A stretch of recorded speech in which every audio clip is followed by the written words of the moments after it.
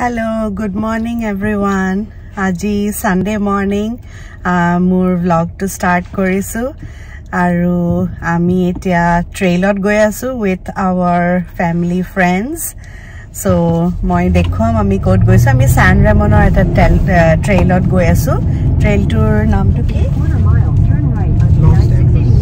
Loss টেম্পাছ তাৰপিছত মই তাত দেখুৱাম আপোনালোকক চ' ষ্টে উইথ মি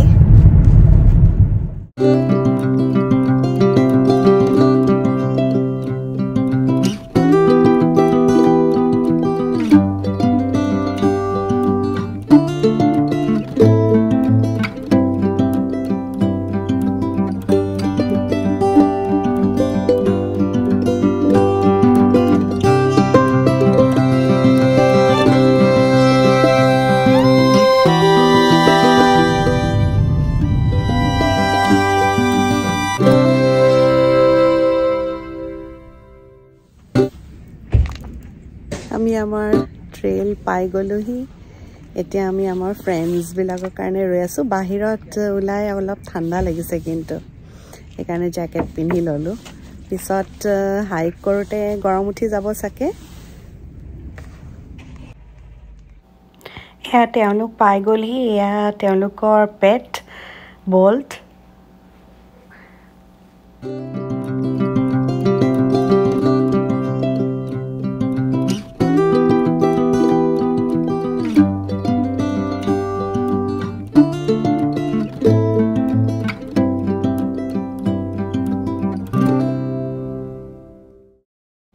চাওক এইটো কি? এইটো এটা গৰু বুল। ইয়াত এইবিলাক এনেকৈ ৰেঞ্চবিলাকত এনেকুৱা চৰি থাকে। ওচৰতে মানুহৰ প্ৰাইভেট প্ৰপাৰ্টি আছে। চ' ইয়াত ফ্ৰেছ হেৰি খাইছে। মই বল্টক অকণমান পেটিং কৰিবলৈ চাইছোঁ মৰম কৰিবলৈ চাইছোঁ। কিন্তু সি মুখখন এনেকৈ এনেকৈ দিয়ে যে মোৰ বিৰাট ভয় লাগে। পিছলৈ কিন্তু ভয়টো নাইকিয়া হ'ল আৰু সি বিৰাট এক্টিভ আচলতে। আৰু এয়া পানী একদম বটলত পানী খাই পানী বিৰাট পিয়াহ লাগিছে তাৰ। খোজকাঢ়ি।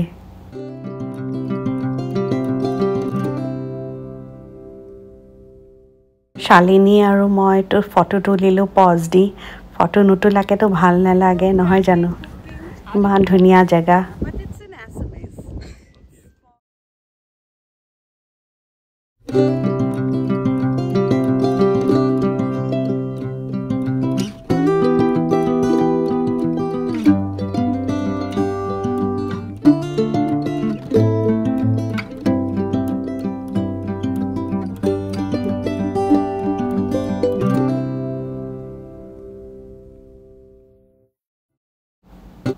এটা ইণ্টাৰেষ্টিং বস্তু দেখুৱাওঁ আপোনালোকক। চাওক এই মানুহকেইজনে বেবীকেইটা কেনেকৈ পিঠিত লৈ আনিছে। ইমান ভাল লাগিছে বেবীকেইটা বিৰাট মৰম লগা। তাত এনেকৈ এনেকৈ লৈ বেগত লৈ পেলাই ট্ৰেইলত যায় মানুহবিলাকে।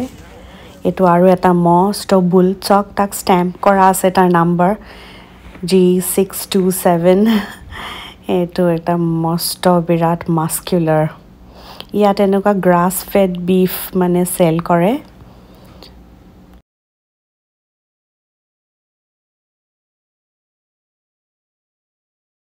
ট্ৰেইল হৈ গ'ল। এতিয়া আমি গৈ আছোঁ এখন ইণ্ডিয়ান ৰেষ্টুৰেণ্টলৈ আপোনালোকক দেখুৱাম মই। এইটো এটা শ্বপিং চেণ্টাৰ তাতে আছে ইণ্ডিয়ান ৰেষ্টুৰেণ্টখন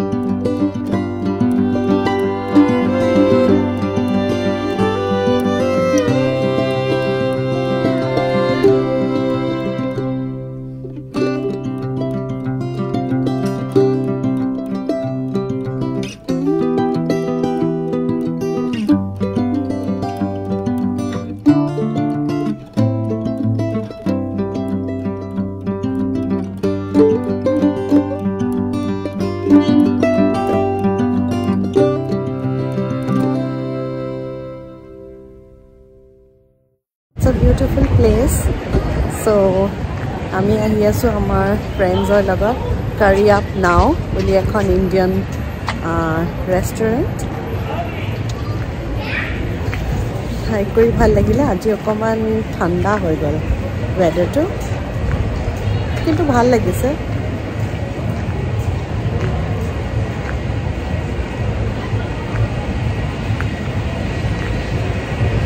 নাইচ প্লেচ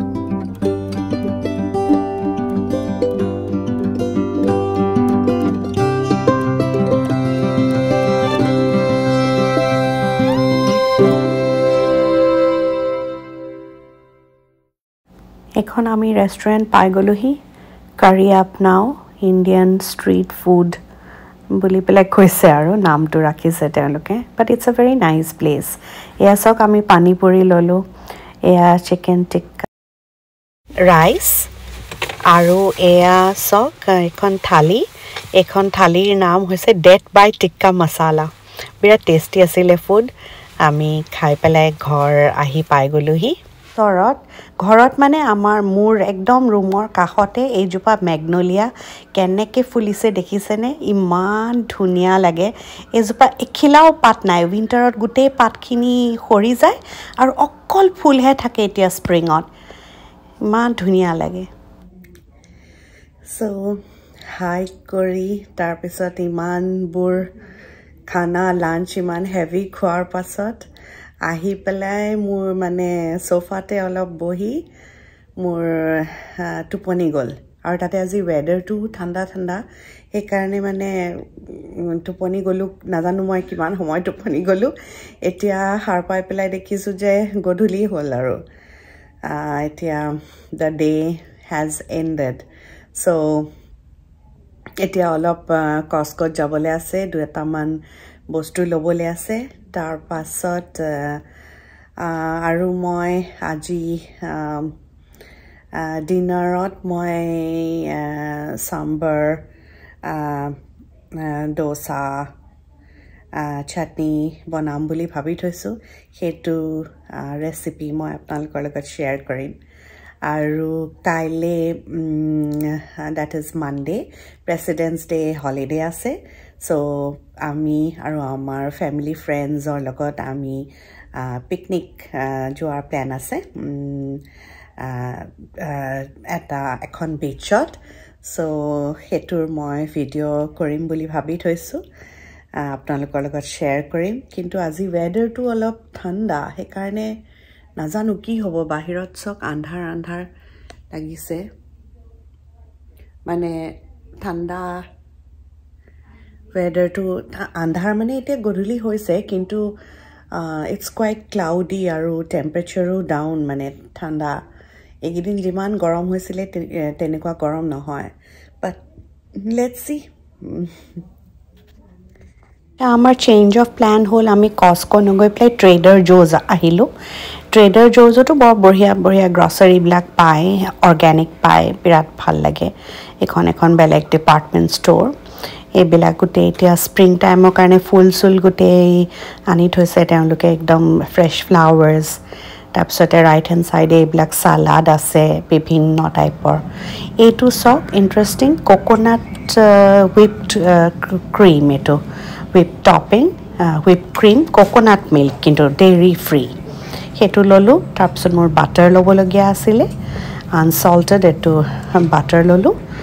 তাৰ পাছত মোৰ ল'বলগীয়া আছিলে স্পাৰ্কলিং ৱাটাৰ স্পাৰ্কলিং ৱাটাৰ এনেই ভাল লাগে আৰু টেষ্ট এটা থাকে ফ্লেভাৰ থাকে বেলেগ বেলেগ কিন্তু তাত চুগাৰ নাথাকে। আচ্ছা এইটো চাওক মোৰ অৰ্কিড দুটা যে আছে ঘৰত এই অৰ্কিড দুটা ইয়াত পানী দিয়া ছিষ্টেম কেনেকুৱা জানেনে? এই আইচ দি থ'ব লাগে। ডাঙৰ অৰ্কিডটোত তিনি টুকুৰা আইচ আৰু সৰু অৰ্কিডটোত দুটুকুৰা আইচ দি থ'লে হৈ যায়। আচ্ছা মোৰ এতিয়া চাম্বাৰৰ কাৰণে মই ৰেডি কৰিছোঁ। এয়া মই কুকাৰত ৰহৰ দাইল বিলাহী কাৰি পাত্তা কেঁচা জলকীয়া দি এতিয়া মই বইল কৰি দিছোঁ।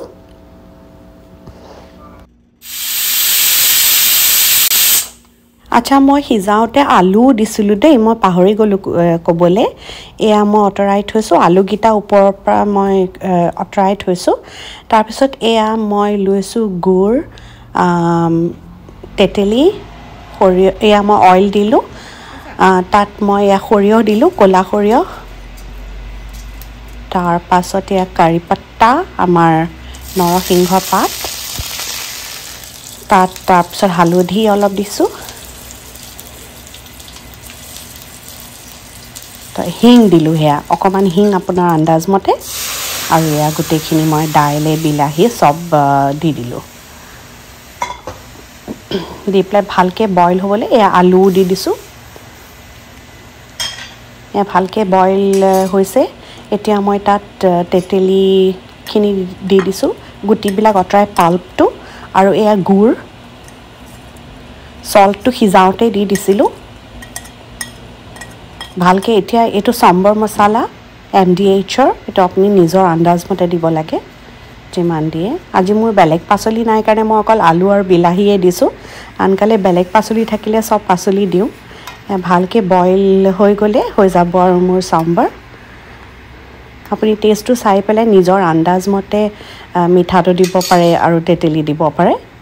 তাৰপিছত এয়া মই ডোচা বনাবলৈ লৈছোঁ। এই ডোচা বেটাৰটো কিন্তু মই নিজে কৰা নাই এইটো ইণ্ডিয়ান ষ্ট'ৰত বেটাৰটো পায় মই তাৰ পৰাই আনিছোঁ। কাৰণ ইয়াত এতিয়া ফাৰ্মেণ্টেশ্যন নহয় উইণ্টাৰত ছামাৰত হয় ছামাৰত মই নিজেই বেটাৰটো বনাওঁ। এইটো ৰেডিমেড বেটাৰটোৱে মই ডোচা কৰিছোঁ। আচ্ছা টিচাই চীজ ডোচা খাম বুলি কৈছিলে কাৰণে মই এইটো চীজ গ্ৰেট কৰি দিছোঁ ইয়াত। আৰু আজি মই চাটনিৰ এয়া মোৰ ডোচা চাম্বাৰ চাটনি ৰেডি চাটনি ৰেচিপিটো মই বেলেগ এটা ভিডিঅ'ত আপোনালোকক দেখুৱাম। End to end it all with a beautiful and yummy cheesecake bye bye